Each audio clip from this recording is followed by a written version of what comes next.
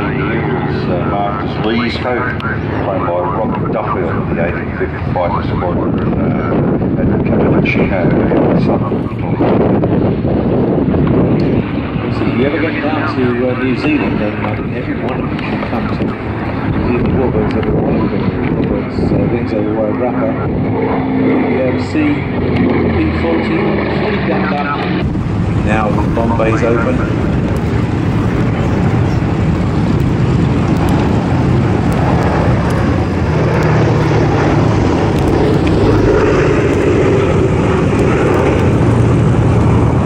Unlike the, unlike the Lancaster, you could actually see clear through that.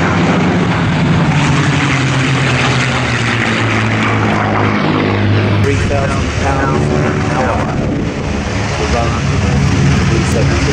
anything you can do to help will be greatly appreciated. Leave something in your will. The guy who's just won the lottery down the road. Short, we've got B-17 in the air four years going to do that our team.